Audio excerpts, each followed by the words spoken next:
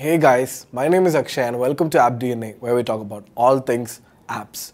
So last time we took a look at an education management application and today we're going to take a look at something that's very much related to education management which is attendance management.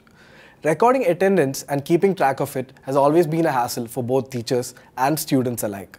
Teachers, even today, in many parts of the world, are still using a pen and paper system or spreadsheet system to record attendance. With the help of Zoho Creator, a low-code application development platform, today we are going to build an application that will prove to be a viable alternative for both pen and paper and spreadsheets. Before we delve into the application, let's take a look at the three stakeholders or the three major roles for this particular application. They are the teachers, parents and students. So teachers will be able to record attendance real time and update it. Students and parents will be able to keep track of the attendance. So let's get started. As usual, we are at the create application page of Zoho Creator and we're going to create an application from scratch. We'll name it Attendance 101. So here we are at the builder of our application and we need to create three basic forms which are the class, students and teachers. Let's open a blank form and name it add class. We'll drag and drop a single line field and we'll rename it as class name. We'll drag and drop the date field for the start date and another date field for end date. Now it's time for us to create the next basic form, which is the teacher form. So we'll name it as add teacher.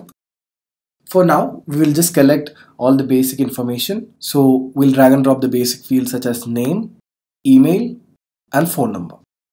The next basic form is the student form. We'll name it as add student. We'll drag and drop the basic fields such as name, email, phone number, address, and joining date. We have added a lot of fields to the three basic forms. Now it's time for us to link each of these forms. We need to assign the teachers and students with their respective classes. So we'll start by adding students to their respective classes.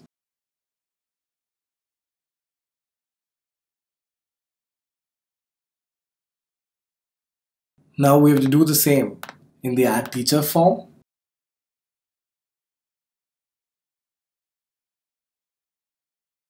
We have to also assign a particular class with teacher and we also need to add the student list to the add class form. Now it's time for us to assign a class to a teacher.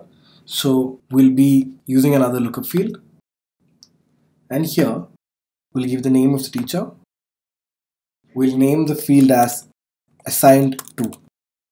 Now we need to use another lookup field and we'll be using the student name. We can name the field as student list. So we are done building all the basic forms. Now it's time for us to build the take attendance form. It's time for us to create the take attendance form. Uh, we could say that this is the most important form of our application we'll be naming the form as take attendance. Let's drag and drop a lookup field, which is the class. Next, we'll be dragging and dropping a date field. Now it's time for us to drag and drop two lookup fields. One is the student and the other is the teacher. Here, we'll choose checkbox as the display type as the teacher will be marking attendance in this particular form. the display type of the teacher field will be in the normal drop down fashion. Done building all the important forms here. Now it's time for us to do a bit of deluge coding. We can easily take the attendance and it gets recorded. Let's start by adding a new workflow. So let's choose the form which is the take attendance form and we'll name the workflow as record. So it's time for us to add a new action. In the previous videos we have done custom actions which are on success. This time we'll be doing it on load. It's time for us to fetch the teacher's email ID.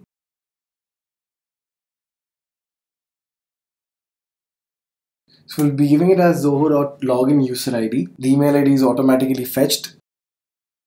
We'll be disabling the teachers field so that only the teacher who's logged in will be able to record the attendance. So now we have fetched all the details from the add teacher form. Now it's important for us to fetch the details from the add student form. The teacher can mark the present students. So we'll be adding a new workflow. It is important to notice that we have done custom actions on success in our previous videos such as volunteer management and education management. Here we've done on load and now we're going to do on user input. We'll be selecting the field which is class. Let's give stu as the variable. Add student which is the name of the form. Class is equal to is equal to input dot class.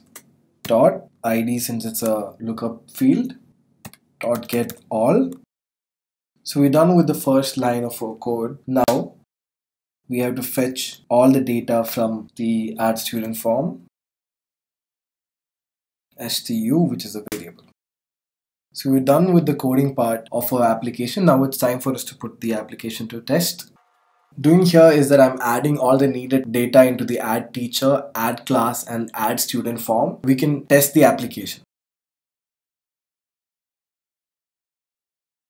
Now I'm adding data into the add student form.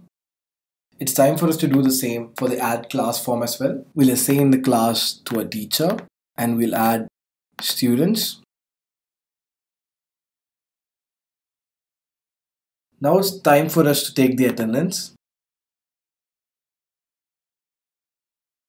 Here we are able to select students and we can also deselect them and then click on submit and we have taken the attendance. We can see it in the attendance report and the attendance report can be shared with students and parents. The attendance report can be shared by clicking on the export button in the right hand side of our application. It can be shared in various formats such as spreadsheet, PDF, HTML, etc. You can also share the attendance report by clicking on the share button on the right hand side of our application. It is also possible to add more bells and whistles to our application by adding a subject field or setting up a mail notification like we did in the volunteer and education management applications. Theme of the application can also be changed. As Zoho Creator is compatible across devices, you can use the application on tablets, phones and laptops. So we have done building our attendance management application. If you want to take a look at an attendance management application with much more features, please take a look at the app gallery page of Zoho Creator. Also, don't forget to subscribe. Thank you.